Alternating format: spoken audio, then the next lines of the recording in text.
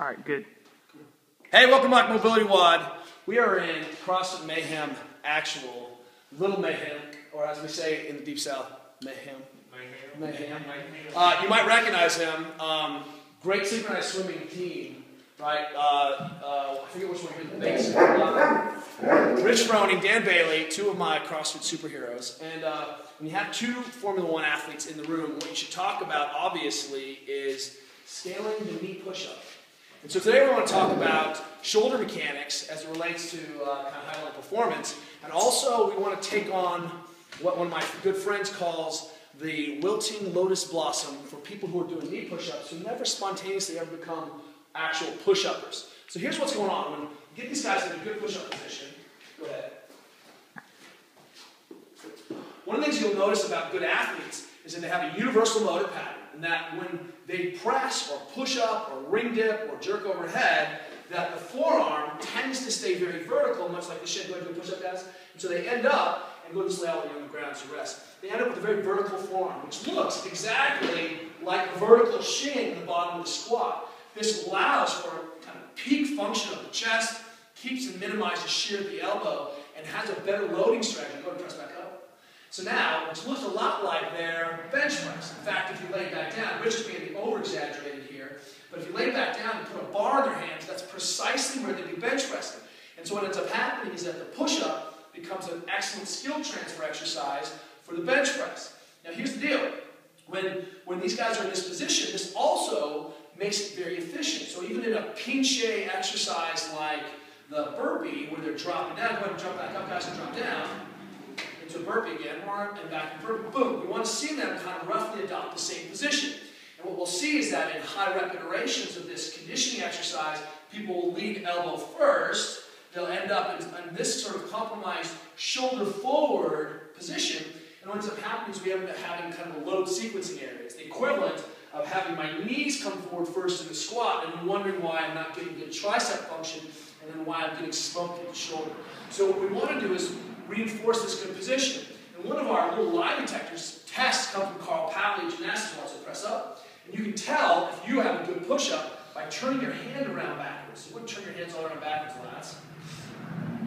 And what happens in this position is that if you've got a good push-up, butt squeezed, you have no discipline!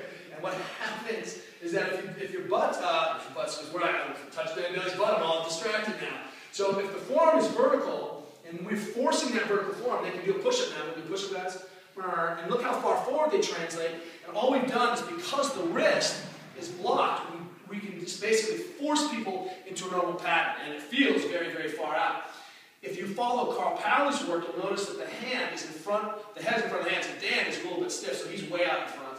But go ahead and press back up, and turn your hands around backwards, and it should look roughly as a similar analog. Go ahead and do it again and they go forward, and then that head makes that tripod, which is a kind of a universal pattern. So here's the problem. When we see athletes on their knees, go down on your knees, guys, like we're going to scale this thing, okay? We work with beginner athletes, and both of you guys are really good coaches. We ask people to do push-ups on their knees. Now go ahead and get to a knee push-up position, and go ahead and squeeze your butt for me. And oh, you have a real hard time doing that. In fact, you can't really control your back. And then do a push-up without trashing your elbow for me. Can you do that?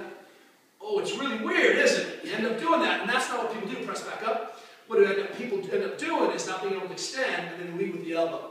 And so they sort of end up in this horrible purgatory where we have allowed them to stabilize their spine and we put them in a compromised elbow shoulder position ad infinitum. So we put them into a kind of repetitive motor pattern that never is going to blossom into all the fun things. So instead, what we like to do is have people in a push-up position.